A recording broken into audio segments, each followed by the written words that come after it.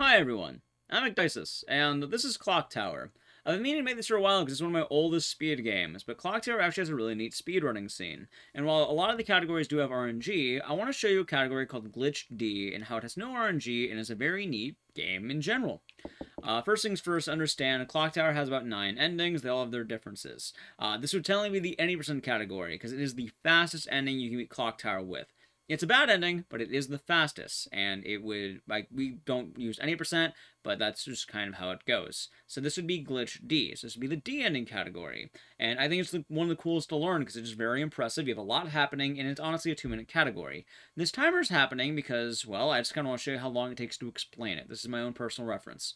So anyway, uh, the way you do this is you don't do game start. Game start gives you an intro screen. It's like a prologue.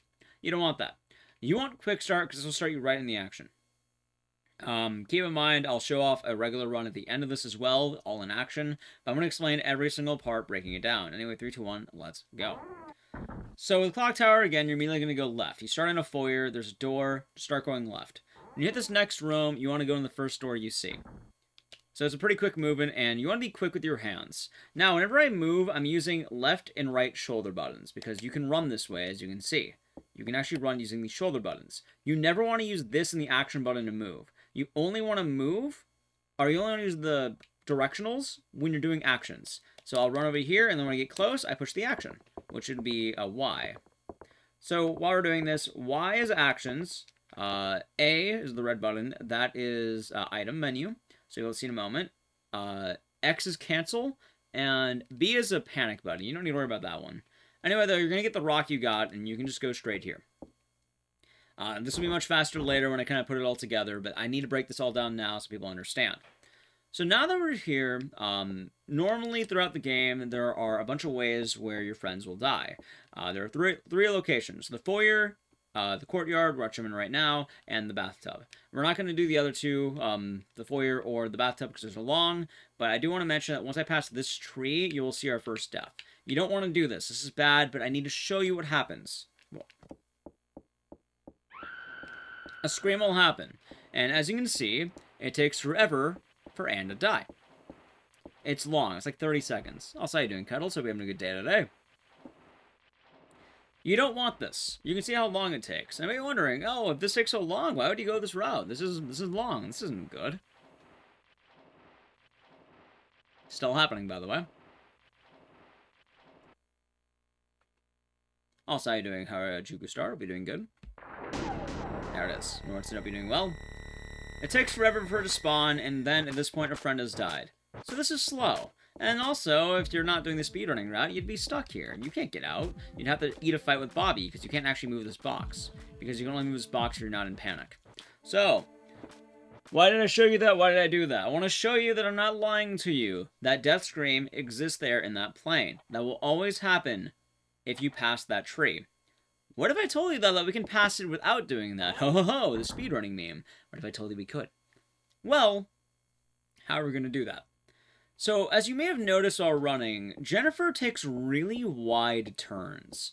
So if I end up going right and left and alternating, you'll see Jennifer takes these really big turns. And the turn actually kind of places her in a different spot.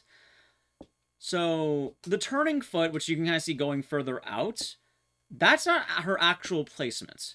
Her placement's rooted in her um, base foot. So, like, whichever foot's not turning. i I use that because it's hard to say right and left when I'm looking at her because her body's turning in weird ways. But keep that in mind. As she's turning, her position is going to be rooted in this, like, the middle. It's not going to be rooted on the turning foot. And you can usually see she has a little bit of a drawback as she returns back to the center at the finish of a turn. But as I'm turning, why I keep doing this, is you can actually cancel a turn, like so. You of saw right there. Let me do it again. You can cancel a turn. So she doesn't run back to the middle. That's a neat trick, because by canceling the turn, you actually shift her movement directly to the turn side. So she goes far enough on the left, I'll stay on the left. I was going to plan uh, dupe hope you doing good. So what does that mean? Well, as we know, if I pass this line, I will get a scream. Again, I will show you. It's always consistent about this line. Scream. Might be a little bit more to the left, but you get the picture. if I can use the movement shifting, I might be able to skip that. The scream is on a certain foot trigger, and it's waiting for Jennifer's feet to pass it. Once she steps on it, that's how it goes. Ignore her whole upper body. Only pay attention to her feet. So, what I'm going to do is I'm going to do this kind of movement. I'm going to do that turn, and I'm going to pass the death trigger without causing it to happen. If I do it properly, you'll see me run past that without a scream. So let's try it out.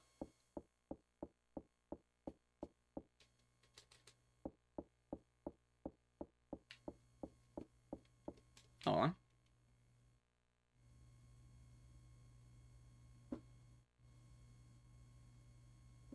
I don't have a watch. Do you hear anything? You do not hear anything, because I have managed to now skip the death trigger, as you can see here.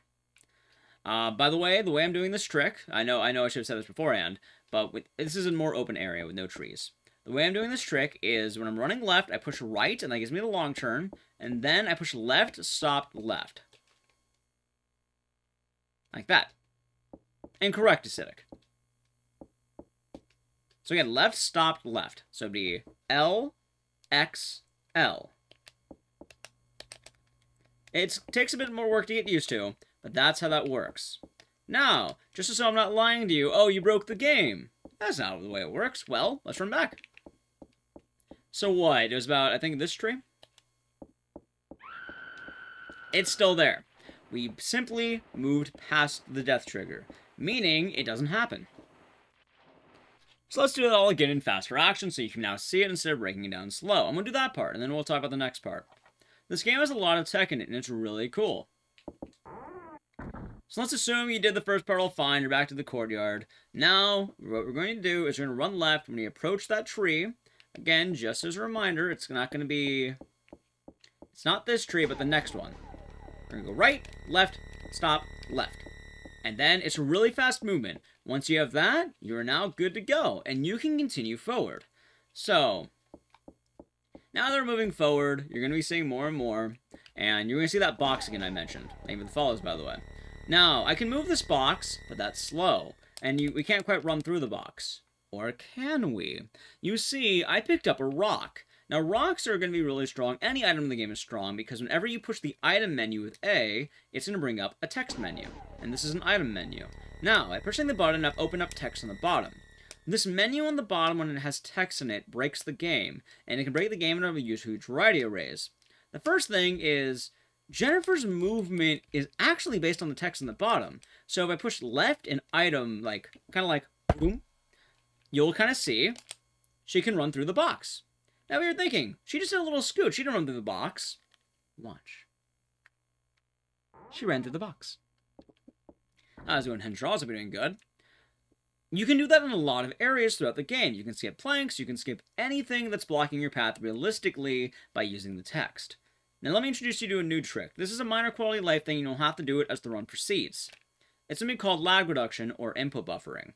Now that I have an item, I can actually mash the button, and in doing so, this is going to reduce the amount of lag in the game. So the old Super Famicom games, Super Nintendo games, they have lag in them built in. But by mashing the button, you can actually reduce the amount you have by making less happen on the screen. So watch. By mashing the button, I'm hitting lag frames, and you can see Jennifer running off ahead. Going to become more noticeable in the next screen because it's much larger. Um, mashing is the best way to do it as a human being. We're going left, by the way, and you can see, um, as I run over here, Anne's not dead here either. So Anne hasn't died yet. Anne's not dead at all. I never killed Laura. No friends are dead. So really quick, just explain lag reduction. You're just going to run, and while running, you mash the item button. You're hitting lag frames while it's going, and Jennifer runs off the screen. It is much faster because nothing is happening on the screen, or much less is happening.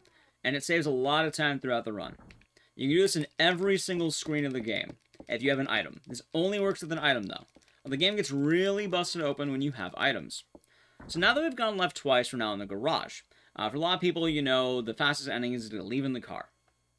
So, I'm going to do some quick moving here. I'm putting my mouse cursor between the ladder and the shovel. I want to be able to gra grab this box because there's a key on here. However, we're going to do our next trick. It's going to be called text skipping. So text skipping is whenever you use the item menu to skip mandatory text in this game. Whenever you talk to certain things, grab certain things, they don't finish the action until the text is done. However, whenever I bring up text at the bottom, like with this rock, you're going to be able to overwrite the text and immediately shift to the end. So let's try it out. So right when I pass this, I'm pushing the buttons together. Up, oh, I missed it. That's fine. You can see it on the next screen. You can see the example of text. You can still happen here. Uh, and this is a better example anyway. You don't get everything first try. But I'm going to use the key on the car. And I'm going to push Y and A together. Like, so. let me do a bit of a distance so I can just kind of get it and not worry about it. Like so. Both of them together. You can see the item menus up while I'm doing this. Normally text will show up, but if I alternate back and forth, the text is gone immediately. Normally that text will take somewhere like 13 seconds, it's immediately gone. Thank you for the Prime Gaming 8 Show. Enjoy the green scissors and the emotes, and thank you. So, this category actually ends after talking to the car three times. In 11 minutes, I fully explain how to beat Clock Tower and how this all works. But how does it look in fast motion? How will it look? Also, if you're wondering, how is this D ending? Isn't D ending that thing where you go in the elevator and you die? Yes. So this is glitch D ending. You may have noticed nobody died. Anne will normally die in the foyer or the courtyard. She didn't die at all. I showed no dead bodies. We never even found Laura. So how is this D ending? So in the beginning of the run, I pulled up something called the ending list. With the ending list, you have nine possible endings you can get. Each ending has very specific things you must do to get the ending. Um, throughout this run, I didn't do anything that qualified that. So the default ending, if you go in the car and you have nothing met, is you go to D ending. If you try doing that glitch where you uh, don't kill Anne and you beat the whole game and go to the final elevator, you'll get F ending. So that's why this category is called Glitch D, because by beating and getting the screen I got, that will qualify as the D ending clear and that is why that is the ending percent of Clock Tower. It is the fastest possible category. It is actually faster than H ending, which is just bolting into the car. It is actually faster to get an item, avoid a death, than it is to just run to the car and eat a death. And if you're wondering what I'm talking about the death, normally Anne or Laura will die before you proceed to the game, killing one friend. Certain enemies are tied to one or two deaths. I have zero deaths, no friends died. So the game doesn't know what to give you, so it has to give you something, so it gives you D. Now, while we're doing this, I want to show you how that all looks together. Remember, you're going to start the timer right when you push quick start, and go. So immediately, I want to be going left once again. We're going left. That's good. Next, remember that door is happening immediately. I move upright on my deep, on my directional pad, and I'm getting ready already. I hit the ramp, I push the button right when I hit the ramp. You want Jennifer running as much as possible. You don't want to push actions early. A lot of these actions aren't actually going to be able to give you speed. If you try clicking on them, Jennifer will walk. You want her to run as much as you can. It happens, Jenny Cat. And it does, Zombie. Now that we're here, remember, we're going to run through. We're going to run through. And once I hit not this tree, but the next one, we're going to do our trick. So that and that. Now we keep running. You keep running. Get your rock out. Once you hit the end of this little run, what you want to do is you want to do the L and the item menu. So, badoom. So, like so. Once you're through, you got that part done. Now, all you have to do is make your way to the garage, and then you're good to go. Throw in your input buffering. You know what's happening at this point. Now, a little bit of a fancy boy trick you can do. You can actually cancel the slow turn by pushing LYL again, or LXL. Uh, you don't always get it, but it's nice to get it. Go left and input buffer. Input buffering is very important. It saves more time than you think. I'm going to get into something later, too, that's going to possibly piss people off. You're going all the way left here. This is a very simple route. Once you get to this room, I don't recommend input buffering because you need Jennifer to be in the same spot. Uh, you want to do a text skip right around the time you hit the box. Now I got it, I got the key, I'm then going to the car, doing it again. Once I got text skip there, there, I'm going to be doing the key two more times. One time with text skip, one time alone. Just out of the car, I'm getting ready for text skip again. Now that I got text skip again, what's going to happen is I am just going to push the final key button, and that will be the run in fast motion. Oh, done. And there it is once again. And that's how it looks all chained together. Now I bet you're wondering, Hey, why is the timer still running? So I didn't show you everything. I showed you what a run can look like if you combine it all together. But what if I told you there's something else you can do? Now for your eyes... Also, I was going Lumberjake. For your eyes, I had to show everything off, because you won't be able to see what I'm talking about if I don't. But remember I mentioned input buffering is always faster if you can do it? Once you go up that hill, you always have the rock. Did you notice a spot on the run where I could have input buffered or I didn't? Yeah. So let's do that again, but slightly faster. I'm not going to show the maximum, because that's way too difficult for me, even. It's possible, but it kills a lot of runs being able to do it. So we're going back in here. We're getting the rock again.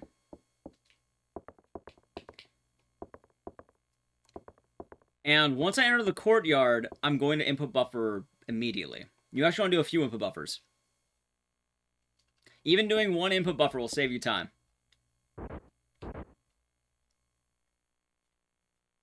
So, how does it look? Well, you want Jennifer to start running more towards the other end. And then you do it here too. Get your rock out, and then at a certain point, you just start doing the trick blind. You'll know you got it when the menu just freezes and it doesn't let you do it anymore. Now we're going back into it. You have the input buffer while doing all the tricks, meaning you're doing it blind. And that's why this category is so fast and difficult. The more input buffers you can throw in, the better you'll be.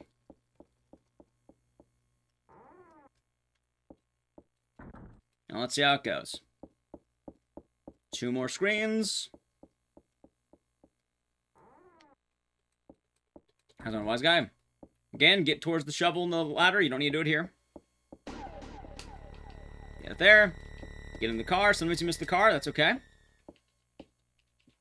What's the Ultra Max Speed secret? So I kind of did it, but not to full degree. I'll try it. I'll try it once. However, I will be killing the uh, the timer below me, because this is going to be the end of this uh, showcase. And then, remember, on the third key usage, you hit time.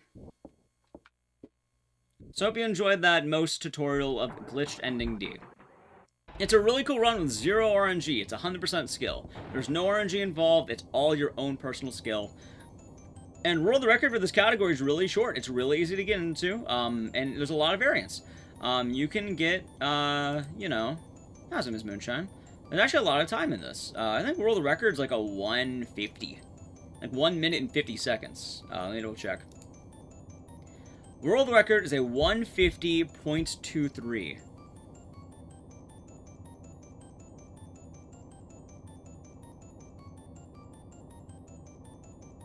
So yes.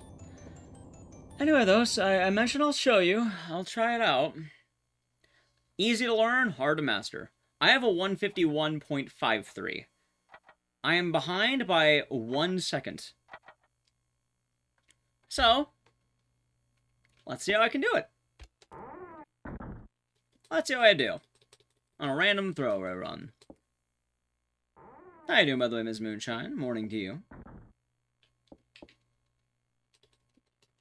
Everything has to be perfect and fast, by the way. All your dead stops, even your uh, even your menu yeah, menuing. I want to be out of here, but I want to say a 29 or a 30. Maybe even 28. I don't actually remember remember entirely.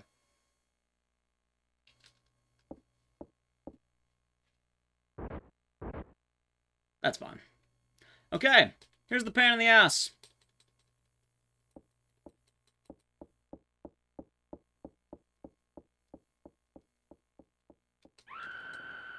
There's. You see the problem?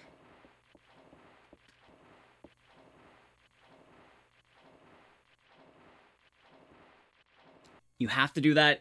You either, one, input buffer enough where you can still see Jennifer and accurately get her there. No, it's not cutscenes. Let me, let me show you again. Here's how I end up doing, it, and this is how I got my time. I'll do one how I normally do it. I input buffer to a degree. I don't maximum input buffer. I think world record might maximum do it.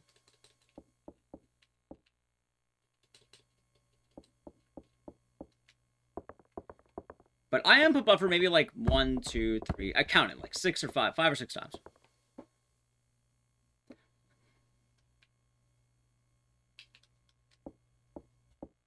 Once you pass the input buffering, though, you're actually all good to go. Like, I not the input buffer. Once you pass the scream, you're good. It's home free. As long as you don't mess up text skip. So I do this, like, watch. One, two, three, four, five. And then Jennifer ends up on the left side of the screen. And then when she hits the tree, I can just do that. And then I mash it. Correct.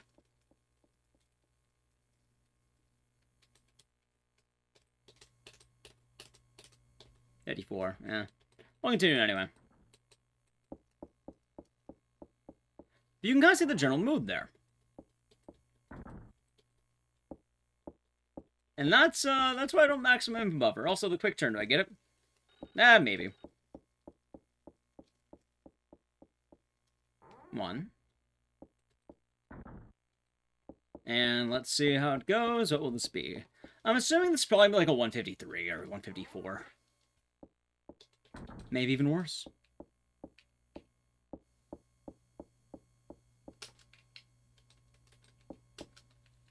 Let's see.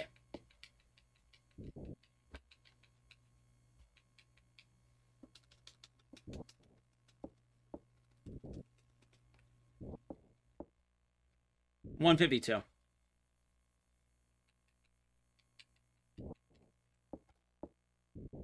One fifty three. Boo. I mean that's still top four.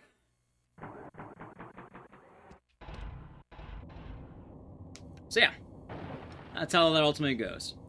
Anyway, I'm probably going to put that on YouTube as a brief tutorial to explain that to people. It's a pain in the ass as a category. It really is. Fun. And no RNG. But it's not easy. It's really not easy.